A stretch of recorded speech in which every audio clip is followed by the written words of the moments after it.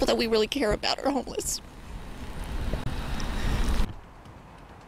Fire destroys a Beaverton home, and the couple who own that home have lived there for more than 40 years. It's 11 o'clock. Good evening. I'm Jeff Gianola. And I'm Jennifer Hoff. That couple made it out alive, but now they're homeless. Our Andrew Dymburt says their neighbors are determined to help them rebuild. He joins us now live. Andrew?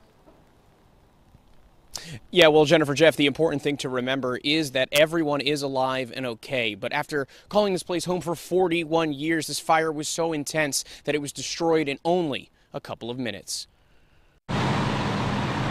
People that we really care about are homeless. A place called home for 41 years. I just felt terrible for them. Gone in a flash. I looked out the window and I heard the, the noises, and just all I could see was the flames in the air.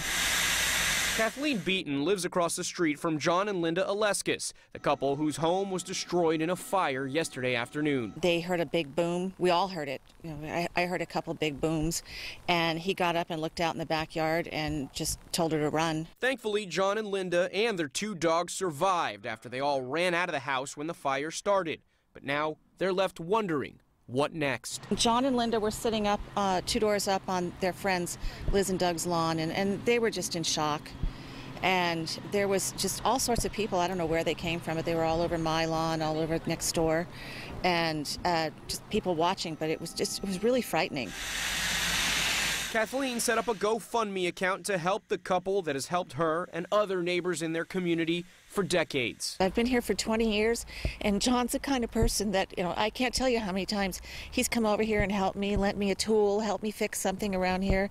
He's always friendly. He always comes over to chat, and it's just it's just really hard to see this happen to them. Now, another fire burns within this community to do anything for the couple that lost everything. You know, I just thought, God, if that had been me, it would just just to see everything you owned and the home you've lived in for 41 years, just everything gone in a, in a moment. I just felt terrible for them.